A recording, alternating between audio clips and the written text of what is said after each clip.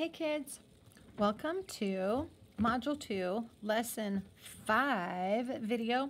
But this objective is going to really, really help us with the next several lessons. In fact, this lesson is one of my absolute favorites of the whole year because we are going to use it so, so much.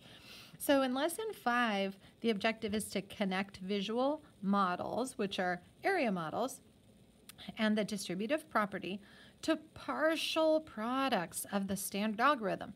Now notice that this word partial contains the word part. And so it's just a fancy way of saying part of the product of the standard algorithm. And then I always like to say, AKA, we're going to learn multiplying.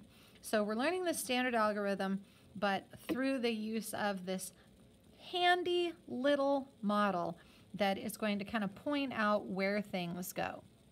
Now, as with long division, uh, you might know that there are many different steps and you have to put this here and you divide, then you multiply and subtract, compare, bring down.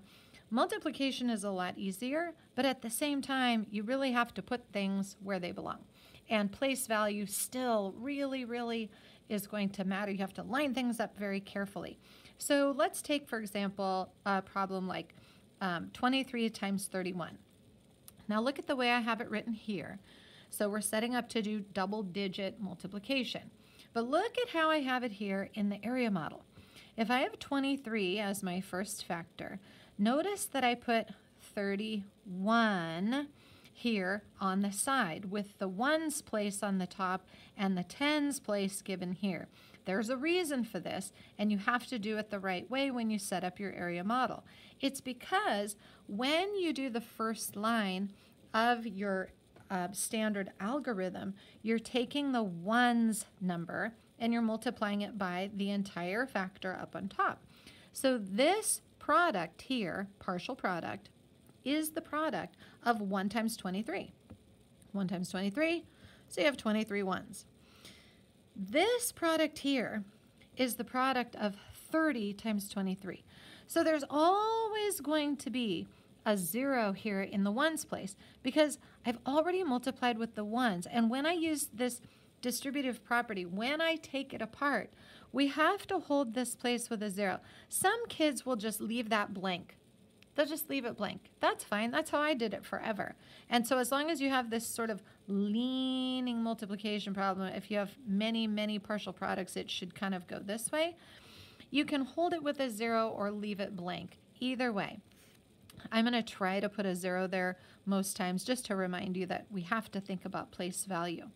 So 690 is the product of 23 and 30. Now, if you look at it this way with the standard algorithm, if I've already multiplied with the ones place, then I'm going to multiply with three tens. The reason you hold this here is to get yourself so that you're working with single digits. 3 times 3 is 9, 3 times 2 is 6. So here, just like we've been doing in previous lessons, 23 times 3 is 69, and then the 0 goes right here. It's that placeholder. Then you have everything lined up by place value. You add them up and you have your final product. So that's what this lesson is all about. Here's one more example. 343 times 21. Note again, the 21 is going to be on the left side with the tens and the ones. The two tens and one one. 21. Upwards. That's the big thing today. Upwards. Why? Because the ones place is going to be multiplied by your top factor. So 1 times 343 is 343.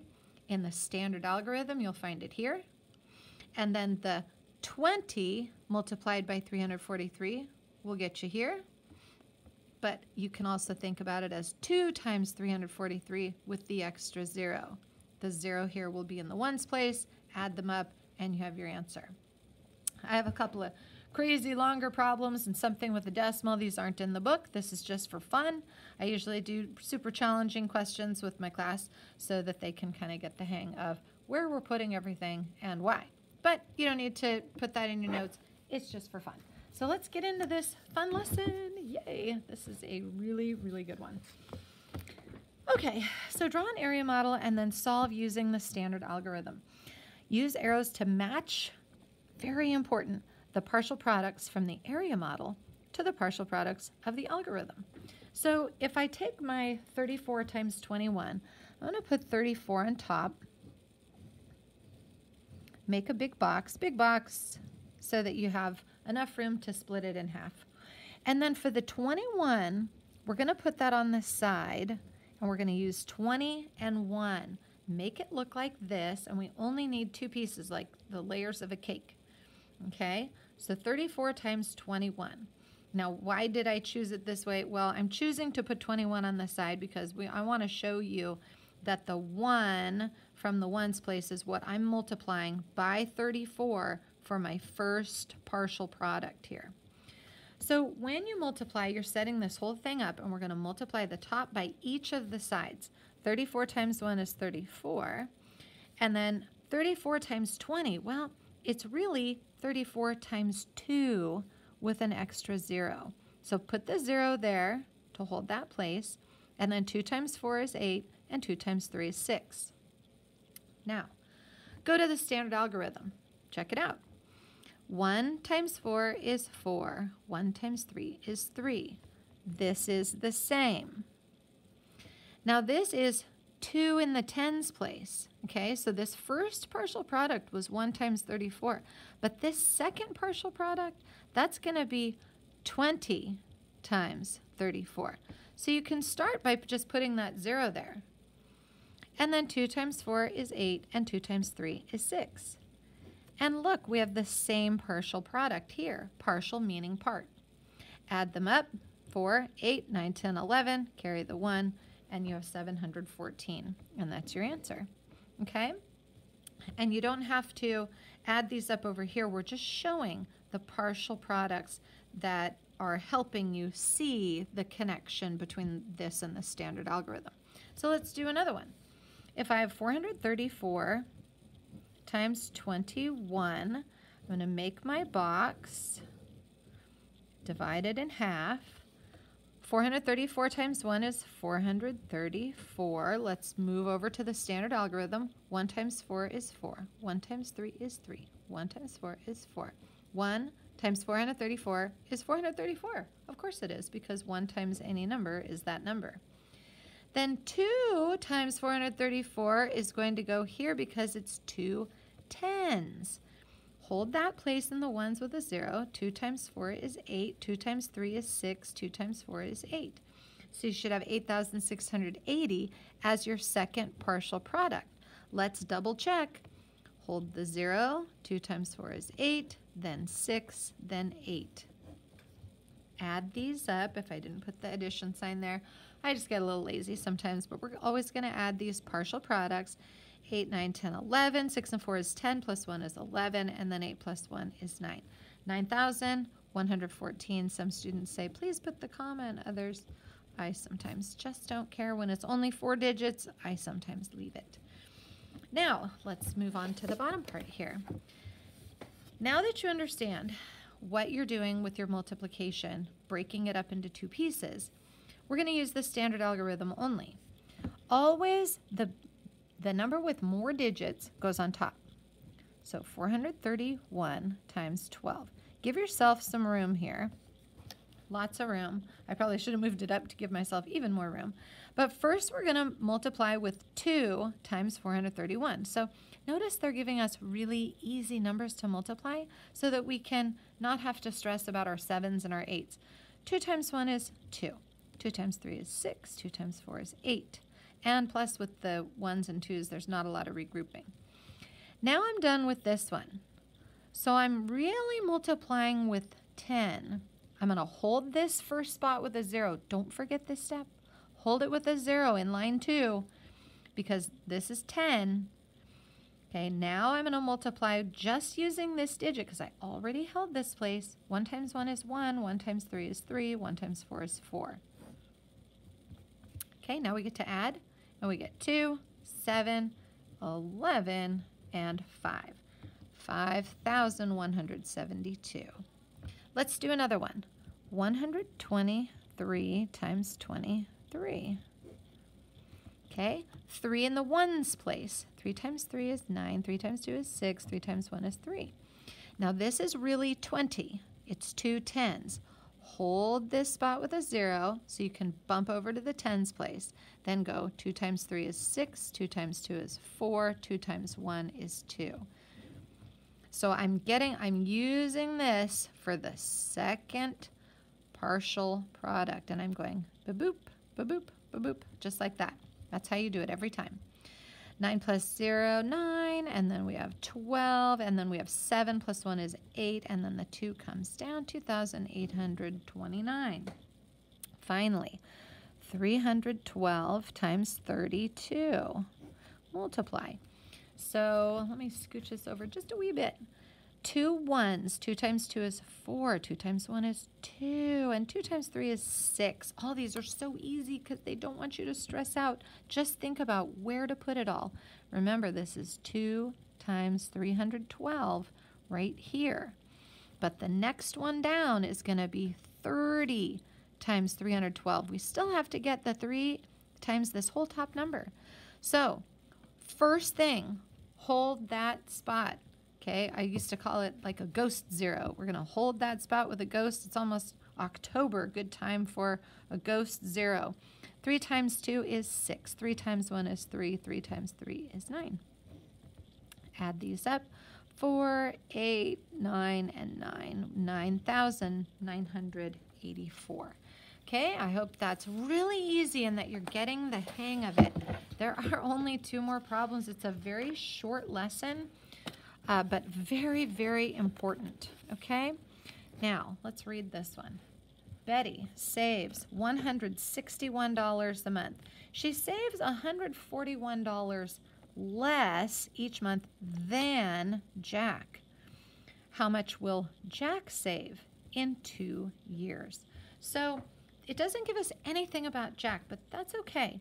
We can make a tape diagram, okay, to show Betty's amount. Good job, Betty, 161.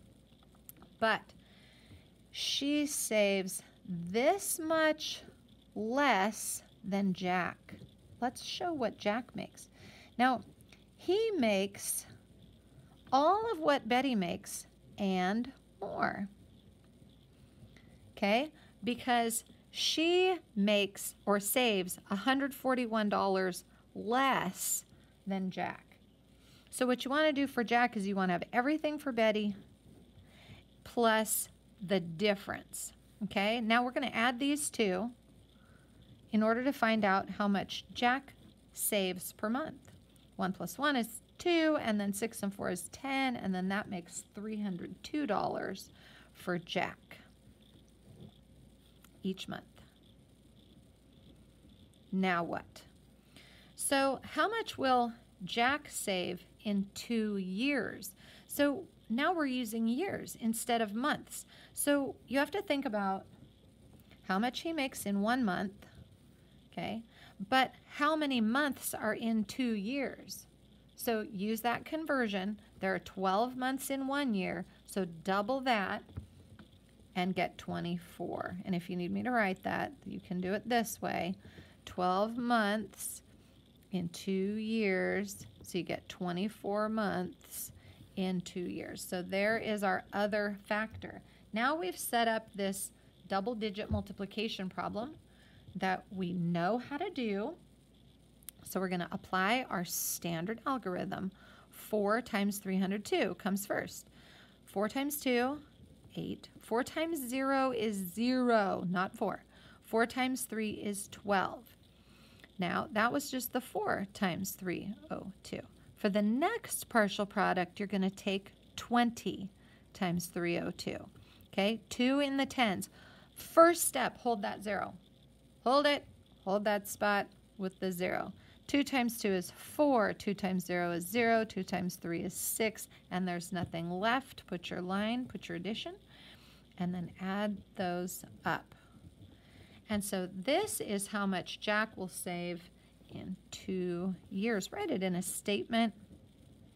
Jack will save $7,248 in two years.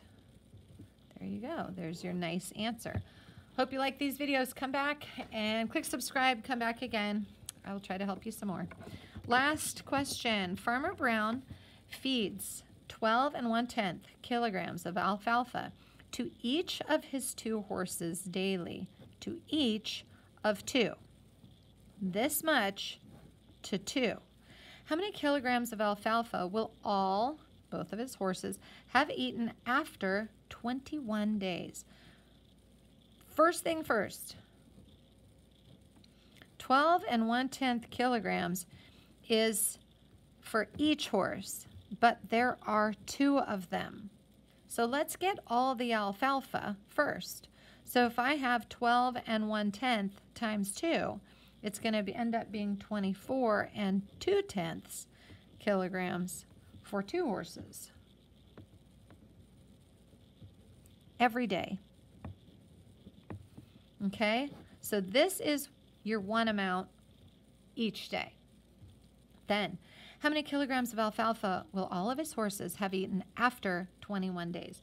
So the the if you want to use your area model to show you, we're going to take our 21 and put it on the side again.